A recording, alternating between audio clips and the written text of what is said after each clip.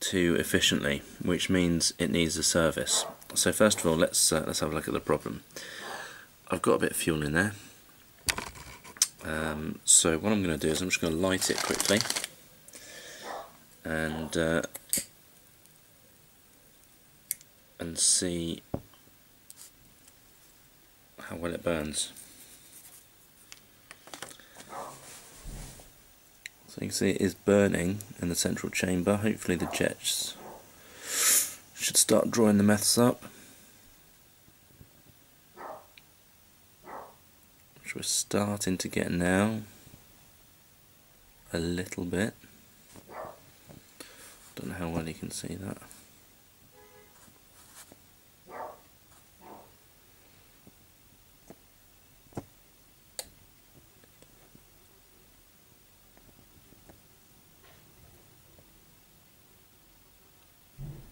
Wow, okay. So that's that's actually gone out. Uh, so what it means is that it needs a clean. Now, these get corroded like any other sort of metal and you can see I've had my Trangia for a while. These little holes are quite sort of pitted and dirty. So what I'm going to do is I'm going to empty that fuel out. I'm going to give it a clean and I'll show you how I do that. Okay, all I've got here is an old washing up bowl with uh, some warm water in it. I've emptied out the uh, the burner so there's no fuel left in that. And I've got an old toothbrush. And all I'm going to do is give it a good scrub. I shouldn't need to need, use any uh, sort of washing up liquid or anything, but um, if I need to then I can add that in later. But uh, for now, I'll just get a nice lot of warm water on it and pay particular attention to these jets.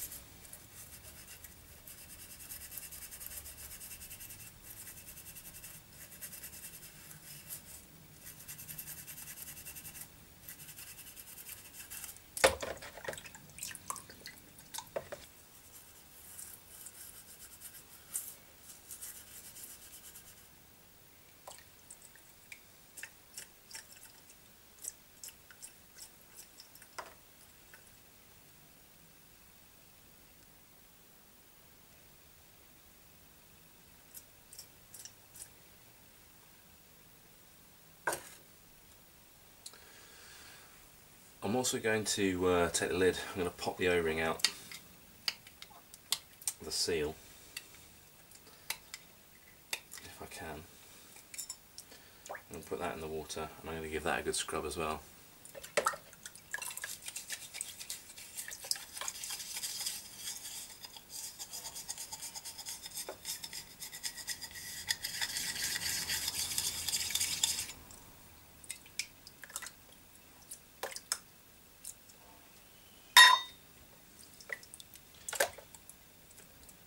clean the o-ring off.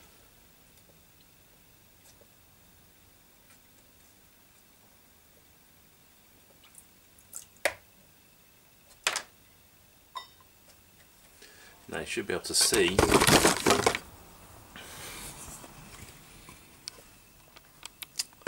all that corrosion and dirt that's come out of the burner in the bottom of the bowl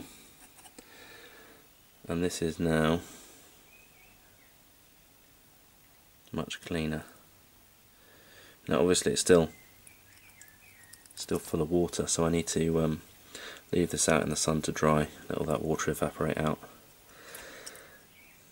and then I'll show you what I do next. So now that it's dry you can see that it's um, much cleaner a lot less uh, corrosion and nonsense around in these holes. If any of them still have anything, there's one that's a little bit gunky just there, just take a needle or a pin and clean out.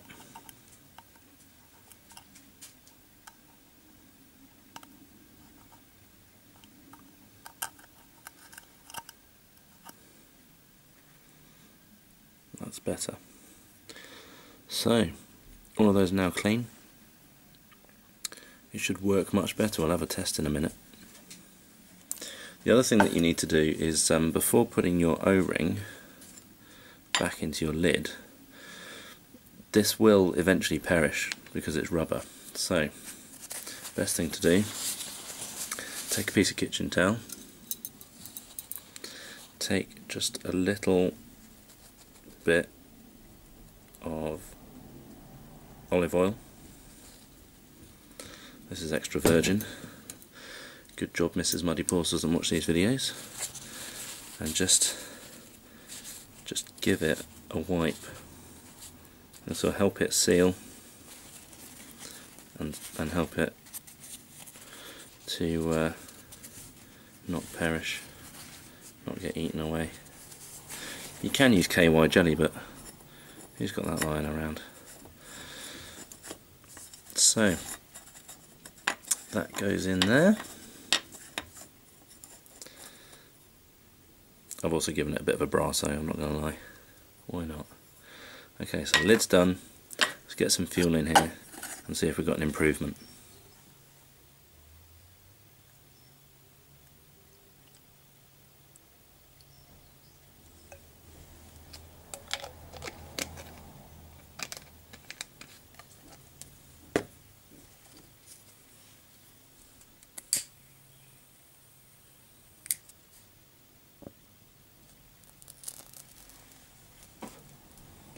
So it's lit.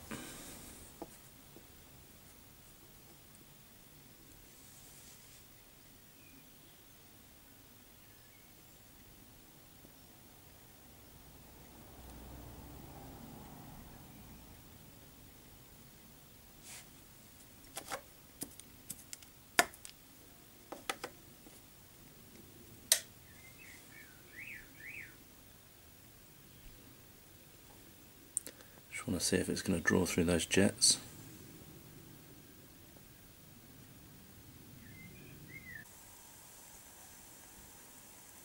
Right, there we are. That's burning nicely. Good efficiency, improved burn, better heat output, and obviously it's not going out either. So that, boys and girls, is how you clean a Trangia burner. I thank you.